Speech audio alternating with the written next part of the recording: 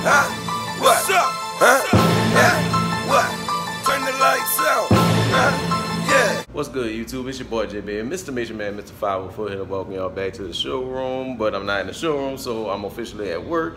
But I wanted to give y'all this quick little unboxing right here to give y'all uh, first hand, well, a nice little look of uh, what released yesterday, the Air Jordan 3. I just got to picking up another pair. And I wanted to show y'all how that actually looks in hand. And let's just get right into right here, the OG style Jordan 3 box.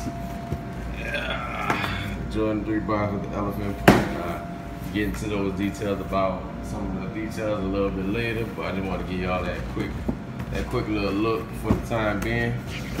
Hope everybody's having a good day. Red towel. Got that elephant print paper and bam.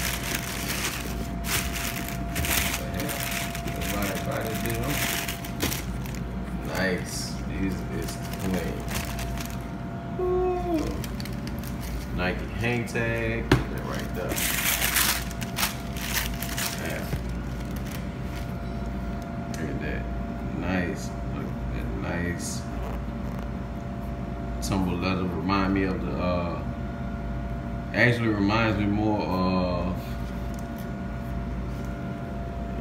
reminds me of the uh damn the Oreo 4 to be honest with you like quality wise as you can see Nike hang tag right there it's a dope little shoe man we'll expect that in-depth review to be coming soon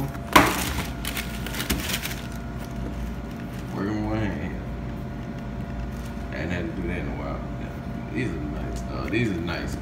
Classic, classic, classic. Get no better than that. Can't get no better than a true OG. But yeah. But yeah, as always, man, appreciate you tuning in. Just giving y'all that quick look. As always, man, stay true, stay fly, stay blessed. And I will be hitting y'all on the next video. And I am JC Beauty with another visual And we out. You did.